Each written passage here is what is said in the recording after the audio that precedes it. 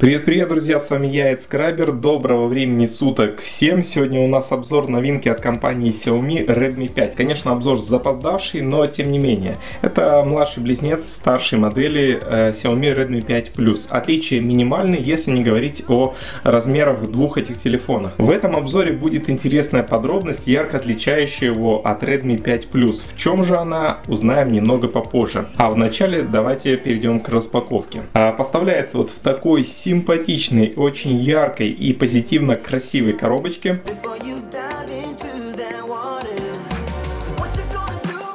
В комплект доложили стекло хорошего качества, также силиконовый чехол сразу же в комплекте и тоже хорошего качества. Спасибо Xiaomi за это. Зарядка не Quick Charge 5 вольт 2 ампера и шнур micro USB. Комплектация у Xiaomi становится немного богаче и это приятно. Ну и собственно говоря сам телефон.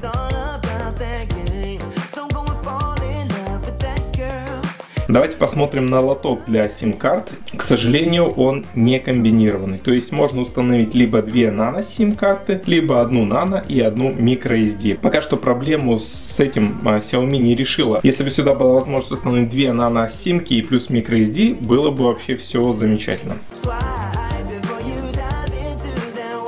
Начнем с экрана, потому что это самое интересное место, наверное, в этом телефоне. На диагональ его составляет 5,7 дюймов, IPS матрица в HD плюс разрешении 1440 на 720 пикселей, соотношение сторон 18 к 9, как у современных флагманов, и 282 ppi туда воткнули. Как вы видите, углы обзора хорошие, олеофобное покрытие э, не смог проверить, потому что уже была наклеена пленка. Яркости экрана на солнце не будет хватать точно, а в остальном все по экрану окей.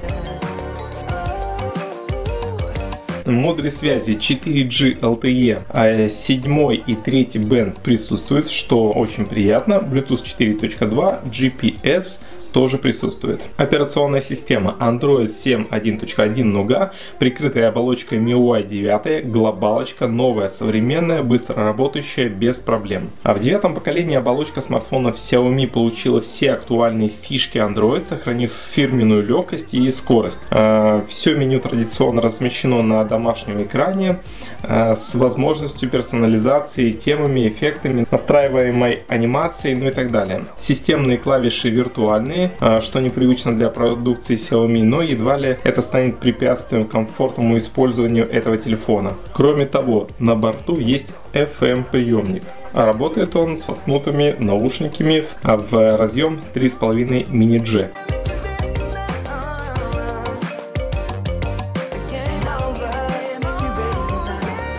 Камера. Основная камера на 12 мегапикселей от OmniVision, а апертура f2.2, фронталка тоже от этой же компании на 5 мегапикселей, светосила f2.0. Бывшая тайваньская компания, которую выкупили китайцы, представила здесь сразу же два своих модуля и позднее мы в этом видео посмотрим примеры фото и видео э, с этого телефона. А видео как раз она пишет в качестве Full HD. Поддержка двух сим-карт, как мы уже выяснили, присутствует. А вот процессор новый. И это самое интересное место этого телефона. Snapdragon 450.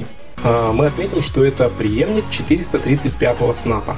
Давайте с помощью таблицы детально разберемся в плюсах. Одним из главных изменений стал переход с 28-нанометрового техпроцессора на 14-нанометровый техпроцесс. Это положительно скажется на автономной работе, и производитель обещает прибавку к основной работе в 4 часа. Максимальная тактовая частота составила 1,8 ГГц против 1,4 ГГц, что дает прирост производительности 25%. Появилась возможность записи видео в 60 FPS в секунду, а процессор может поддерживать две 13-мегапиксельные камеры или одну 21-мегапиксельную против двух 8-мегапиксельных камер. Поддержка интерфейса USB 3.0 для более быстрой передачи данных. И это, наверное, одно из самых больших преимуществ Redmi 5 по отношению к Redmi 5 Plus. Почти не уступающий процессор 450. То есть, по сути, в бенчмарках, как мы с вами дальше еще увидим, он не уступает или же почти не уступает старшей версии, но стоит он приблизительно на 3000 рублей дешевле. Представляете, телефон дешевле, но у него по сути почти что те же самые параметры, и это очень круто. За графику отвечает улучшенный Adreno 506, как вы знаете, он перепрыгнул 625 снапа, и в результате пользователи младшей модели могут рассчитывать на такой же уровень мощности, что и у старшей модели. Оперативной памяти здесь два варианта, 2, 16, 3, 32, типа LPDDR3, это оперативная память. Первый вариант для тех, кто пользуется телефоном просто как звонилкой, если вы хотите хотите реально серфить в интернете и даже поиграться, то нужно брать версию на 3.32 100%.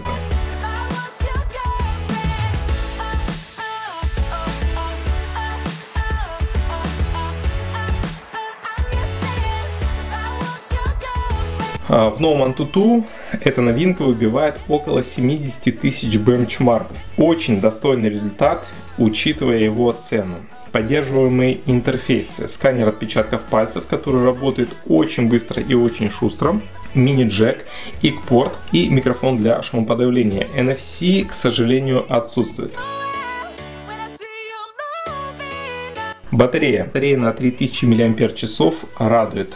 Это немного с одной стороны, но и с другой стороны немало. Но важно другое. Смартфон не лишился главного козыря аппаратов Redmi и готов работать двое суток без свиданий с розеткой. В среднем же получается около полутора дней при получасе звонков и двух часах интернета. Quick Charge. Хотел сказать, я зарядил телефон с помощью своего Quick Charge. И знаете, Quick Charge работает, телефон зарядился быстро. И эта функция как я уже и говорил раньше, она присутствует в этом телефоне. Просто нужно докупить адекватный Quick Charge, допустим, от компании Blitzwolf. Адекватных конкурентов за эту цену я не нашел, друзья. Нету этого телефона адекватных конкурентов за эту цену. Он дает нам адекватную, хорошую, качественную прошивку, хороший процессор, хороший, красивый, качественный внешний вид, современный экран, хорошую камеру, да вообще, вообще вот весь набор, то может предоставить нам все эти данные за эту цену? Друзья, ответ очевиден. Пока никто. Ссылочки на проверенного продавца, который не кидает, в описании и в комментариях.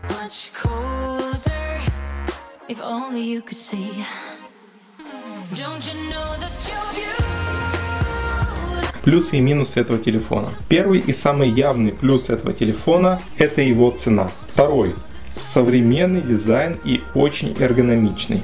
Третий плюс – хороший процессор Snap 450. И четвертый – хорошая основная камера. Из минусов только отсутствие NFC, но если честно, за эту цену у большинства телефонов NFC тоже отсутствует. Ставь обязательно лайк этому видео, подписывайся на канал, тем самым ты его поддержишь и все будет окей. Поговорим о внешнем виде. Задняя крышка металлическая с пластиковыми вставками сверху и снизу. Также на задней панели камера, двухцветная вспышка и сканер отпечатков пальцев. Красуется фирменный логотип Mi, качелька громкости и кнопка выключения, а также лоток под сим-карты. Все находится на стандартных местах и даже об этом упоминать не буду. На верхней грани вход для наушников, и порт и микрофон для шумоподавления. На нижней части две решет, под одной из них динамик, под другой микрофон. К сожалению, здесь не USB Type-C, а только microUSB. А, но самое интересное здесь это лицевая панель. Сверху камера, разговорный динамик и два сенсорных датчика. Кнопки здесь наэкранные. Абсолютно новый дизайн передней части, конечно же, очень порадовал. Обратите внимание на линии и изгибы внешней части рамки, и они повторяют внутреннюю часть рамки, тем самым подчеркивая общую концепцию дизайна. Скорее всего, ми пошли в сторону Google Pixel, что касается дизайна. Что касается эргономики. Габариты, указанные в таблице технических характеристик смартфона, не соответствуют ощущениям от его повседневного использования. На деле девайс очень-очень хорошо лежит в руке, очень удобен и на самом деле не ощущается каким-то большим. Да, здесь большой экран, но нет рамок и по сути он лежит идеально в руке. Примеры фото. Так, делаем увеличение, мы видим, что это неплохой результат для этой бюджетной камеры. А, четкости не хватает, контрастность не сильная. А, посмотрим на край линзы и видим, что здесь ситуация гораздо хуже. И некоторые полосочки уже в четвертом ряду почти что сливаются. Но отметим, что для этой ценовой категории это неплохой результат для тестера для линз. А следующая фотография. А, приближаем и видим, что снимок сделан немного ближе, выдает нам более лучшую детализацию, чувствуется все-таки бюджетность этого телефона. Итак, следующий снимок при стандартном комнатном освещении. И здесь видно, что не хватает света, а сразу чувствуется, что камера не справляется.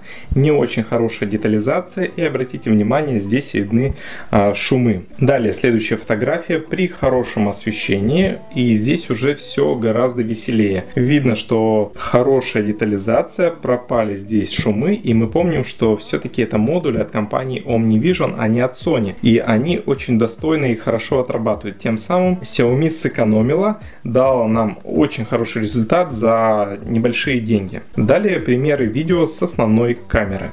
А, ну что, друзья, с вами я, Скрабер. Сейчас мы пишем на основную камеру. Приблизительно можете посмотреть, как пишет она видео.